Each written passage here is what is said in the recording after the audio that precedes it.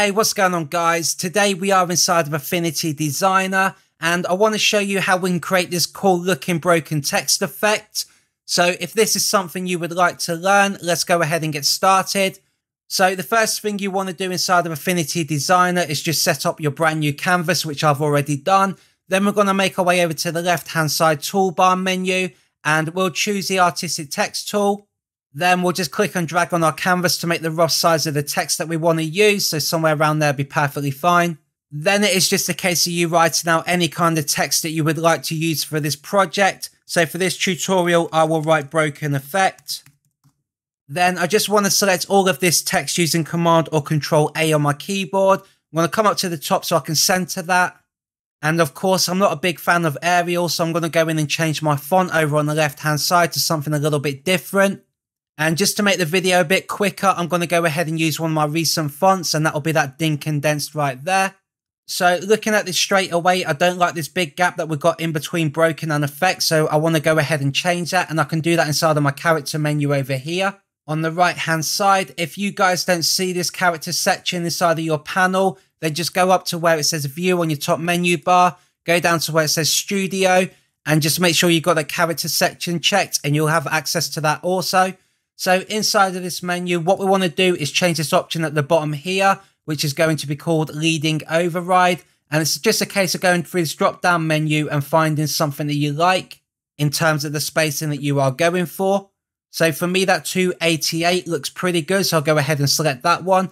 If you can't find anything in there that you do want that's already preset, then just double tap and manually put some numbers inside of there. But that 288 is fine for me for the moment. So what I'm going to do now is just make sure that this text is centered in the middle of my canvas. So I'm going to go up to the top menu bar where we have the alignment options. I'm going to go and align horizontally and as well as vertically and just hit apply. And now that is in the center of my canvas. Then from here, we are going to make our way back over to the left hand side toolbar menu. But this time around, we are going to select the pen tool. And now it's just a case of us just drawing out some rough triangle shapes almost like some broken pieces of glass. And to do that, it's just a case of tapping anywhere on our mouse just to create our very first point. So for me, I'm going to start over here on the left-hand side of the B. I'm going to just tap right there. Then I'm just going to start drawing some rough kind of triangle shapes. I'm going to create another point here. I'm going to come back over here to the other side of the B. Then I'll go ahead and just join those together. So that is one shape complete. Then before we move on to creating a few more of these, what I do want to do is go ahead and change the color as it's going to make it a little bit easier as we go along with this tutorial, just to identify some of the pieces that we need to delete and some of them that we need to keep. So I'm going to go over to the right hand side. I'm going to give this quite a bright color, maybe green. And I'm going to go and turn that stroke off as that's going to affect the image as well if we don't. So if we now continue with the pen tool and start creating some more triangles all around this text, just by putting different points in different places. And you can create as many of these as you like. It's entirely up to you. But at this point, I'll just speed the video up a little bit so you guys have to sit here watching me do it. Okay, so this is what I have in terms of my kind of triangle shapes that I've created. And the more of these that you create are going to determine how much of the text we can start cutting out. So just go ahead and get as creative as you like with this. I know it does look really messy at the moment, but it'll all come together in just a moment. So if you're happy with what you got so far, what we need to do now is go over to the right hand side into our layers menu. And we're going to make our way down to the bottom where we have the broken effect text. And with that selected or any kind of text that you created, we're going to go up to the top menu bar to where it says layer. We're going to go down and we need to choose convert to curves. And what this will do is convert our text into shapes. So we are able to manipulate that. So go ahead and select convert to curves. Then you'll see down here in the layers on the right hand side, we now have this group with all these individual letters inside, which are now become shapes. And from here, we just want to select every single one of these letters. So if we start off on the T on the top, and I'm going to hold down shift on my keyboard, I'm going to find the B right at the bottom and select that while holding down shift. That then is going to select every other layer in between those. Then we're going to go up to the top menu bar to our shape building tools and we're going to select this add option. That then will take all those individual shapes and convert it into just one shape. Then what we want to do next is just drag that outside of that group as we don't need the group. And we'll go ahead and just delete that empty group. Then from here, we're going to do the exact same thing that we just did in terms of selecting all these layers. So we're going to first select the one at the very top. hold down shift on our keyboard and select the one at the bottom, which then will select everything else in between. Then we're going to make our way back up to the top menu bar to our shape building tools, but this time around that we are going to select divide. Then once we've done that, you can see we've got far more many layers than we had originally, and that is because it's individually cut out all these pieces that we see in front of us. So from here, it's just now a case of deleting all the pieces that we don't want. So I'm going to make my way back over to the left-hand side toolbar menu, and I'm going to select the Move tool. Then the idea now is just to make our way around the design and start removing some of these pieces that we don't want. So I'm going to go ahead and deselect all of that. Then just start selecting some of these pieces, such as that one right there. I'm going to go ahead and hit delete. So what you do want to do at this point is make sure that you always keep your text intact, even though that's green right there and that's black. We'll sort that out in just a moment. But other than the green that is inside of the text itself, go ahead and start deleting the rest of it, just piece by piece. Some of you may find it easier to go into the outline view when you're doing this. If you want to go ahead and do that, just head up to the top menu bar and right here we've got this outline view. If you select that, you can now see all these other pieces that you may just want to select and delete. If you do find that easier, that's entirely up to you. For me, I kind of just like to be in a normal view. So I'll just go ahead and just keep deleting that as normal. But you can notice if you do zoom in, you can see all the outlines that we've got here from the text itself. So it's quite easy to identify some of the pieces that you need to delete. But at this point, I'm going to zoom back out and I'm going to speed up the video once again while I delete all these pieces. So this is now what I am left with after deleting all those additional pieces. And what I need to do from here is go and change all of these green pieces to be black so it matches the text. So if we make our way back over to the layers on the right hand side, we are going to select the top green piece. Then just make our way down till we can find that bottom green piece, which is right there. Hold down shift once again to select everything else in between. Then we'll just come up to the color wheel and I'm going to change that to black. So as you can see right now, these are going to be all of our separation lines, which we're going to start pulling apart in just a moment. So I'm going to go ahead and just grab that move tool and deselect that. So before moving on, I've just noticed over here on the end, there was a little bit that I forgot to delete. So I'm going to select that and just delete it. And what we need to do now is just start selecting some of these different broken parts so we can just start moving those around. Either with the arrow keys on your keyboard, just like that, move that into position or just manually select any one of these and just start moving those around. And what I advise at this point is make sure that you turn off snapping as it's going to give you a lot more creative control and not automatically try and go in locations where you may not want it. So if you do have snapping enabled and you want to turn that off, you can do that using this magnet tool just up here on the top menu bar. But for me, that's already turned off. So now what we need to do is just continue moving all these little individual pieces into different positions. And once again, I will speed up the video so you guys don't have to sit here watching me do this. Okay, so I've now completed moving around all the pieces from my text and this is what I came up with. And if you guys are happy with yours, what we want to do now is just start applying some effects to this. But before we do that, I want to combine all of these into one single shape. So the quick way of selecting all of this was to just tap anywhere in the white area and just move that all the way over the design itself and that'll select every one of those layers. Then once again, we'll go up to the top menu bar to our shape building tools and we're going to use the add button. And now that's combined all of that into one single shape. So before we go ahead and put any effects on this, I just want to change the color of this background. So I'm going to go ahead and grab a rectangle shape. I'm just going to draw over the entire background just to fill that white area. I'm going to turn snapping on at this point as it makes it a little bit easier just to snap in those corners automatically. And I'll just go ahead and fill that entire canvas. And I think I'll just give this a gradient. So I'm going to go up to the top left hand side to where it says fill. I'm going to go in here. I'm going to go over to gradient. I'm going to change this white to be somewhere in the blue. I think somewhere around that kind of blue. And on the other side, I'll just go a little bit darker than that.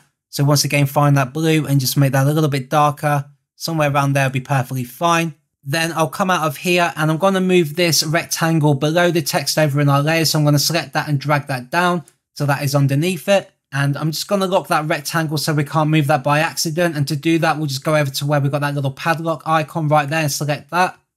And now we can't move that background around. And I'm just going to fit to screen once again with Command or Control 0. And at this point, I'll zoom in a little bit now so you guys can see it's better on your screen. And now we'll start changing some of these colors and adding some effects just to make it look that little bit better. So if we go over to the right hand side in our layers and we select the curve, which is our text, from here, I'm going to change the color to be white. And I'm going to drop this opacity down to around 60%. So somewhere around there. Then we're going to go down to our effects and we're going to select a drop shadow. And inside of here, I'm going to have a radius and an offset of three pixels. And the opacity, I'll have around 55. The intensity, I'm going to leave at 0%. I am going to angle this all the way down at 270 degrees. And that will give us a very subtle shadow, but you'll be able to see that it's there once we start adding more effects. Next, we're going to apply an inner shadow. So the radius and the offset on this one, I'll have about 29 on the radius and around 13 for the offset and around 5% of the intensity. And I'll just bring my opacity down to around 40% on this one. And once again, with the angle, I will position that at 270 degrees. Then next, I think we will apply an inner glow. So we're going to select that one. So for the radius, I'm going to give this roughly around one pixel. So one pixel will do fine. The intensity, I'm going to drag all the way up to be 100%. Then I want to change the color to be somewhere more in the blue. So somewhere around that color will be perfectly fine. Then I'm going to select a bevel and emboss. And inside of here, we're going to change the type to be an inner. The radius, I'm going to put around 100%. And I'll just click on here so I can unlink that so I can change the depth. And I'll have that around 3 pixels. And the softness, we're going to have around maybe 1.6. Then we're going to select our profile. So I'll just choose one from down here. I'll go for that one right there on the end. The direction, I'm going to leave the way it is. A highlight, I'm going to put up to be 100% opacity. And the shadows, I'll just bring that down to be around 70% then that will do in terms of the effects. And you may not be able to see this very well on your screen, but if I zoom in a little bit, you can kind of see the effect that we got here, where we got this kind of glass curved effect inside of the text. So at this point, I'll just zoom back out with Command or Control Zero to fit the screen. Just zoom in a little bit closer so you guys can see that better. Then what I'm going to do next is put a stroke around this text. So if we come back up to the right hand side in our color wheel section, select on our stroke, I'm going to give that a color white. Then I'm going to make my way over to the left hand side inside of our stroke menu up here so we can change a few of these settings. As for the width, I'm going to make that roughly around 2 pixels just to make that a little bit thicker. Then I'm going to come down and change the pressure in this menu right here. And I just want to drag one of these corners down to the bottom to give us kind of a sloped effect. So I'm going to hold down Option on my keyboard while I select that and just start to drag that down. And what this is actually done, if I come off this, is it's kept the stroke around the top. And as it starts to go to the bottom, it starts to fade away. Just to give it that kind of more highlighted effect. Then what I want to do is go and just drop the opacity just a little bit on the stroke. So on the right hand side, we'll just start to pull this down till you find something that you are happy with. I'm going to take that down to around 60%. And that isn't looking too bad at the moment. But what I want to do next over in our layer section on the right hand side, I want to come down to the bottom where we have the option to create a new pixel layer. So I'll select that. Then what I want to do with this pixel layer is place it inside of the text. And the way we're going to do that is by selecting it, dragging down till we've got that big blue bar, slightly pull over to the right till it indents and then just let it go.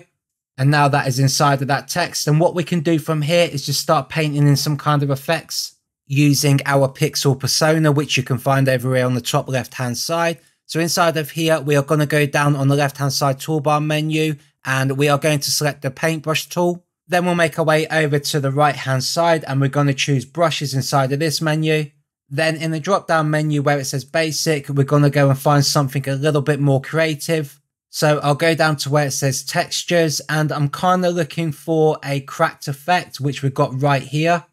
And we do have a couple to choose from. These are all default brushes, so you guys will also have these inside of your Affinity Designer. So once you chose one that you like, what we want to do now is go back to the color and we're going to give this a color that you want to use. For me, I'm going to keep that white and making sure that you are on the pixel layer. All we've got to do now is just start painting over the text itself to give it that effect in the background, just like that. So now we have this kind of cracked effect inside of the glass.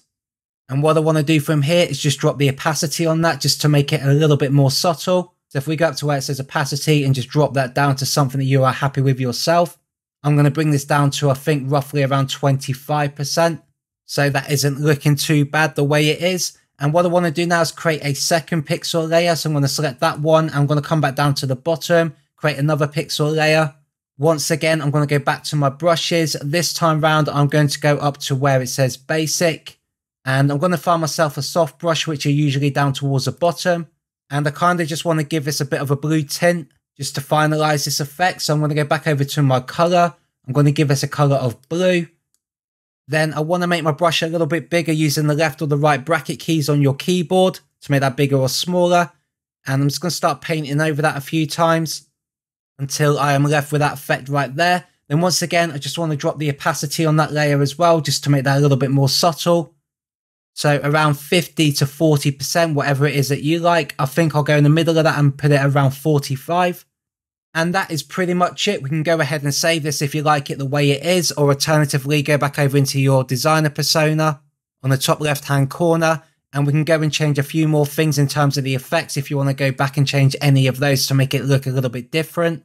Or if you want to change the pressure a little bit that we got on the stroke, maybe come back into the pressure menu and just drag the centerpiece up and maybe this side back down as well and see what kind of effect we get with that.